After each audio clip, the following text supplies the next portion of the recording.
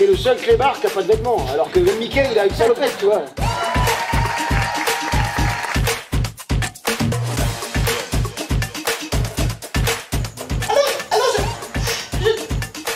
Allez, ah, non, si je...